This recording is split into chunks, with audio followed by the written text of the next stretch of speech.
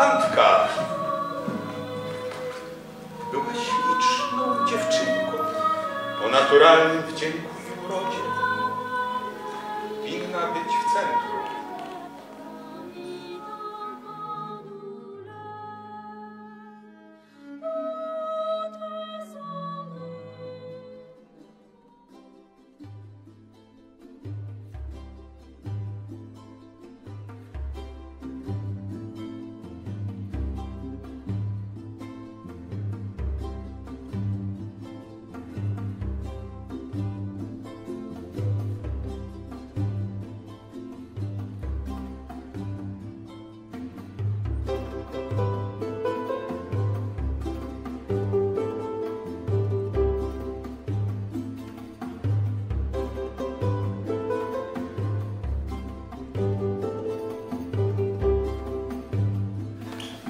antiki teraz Ile ich by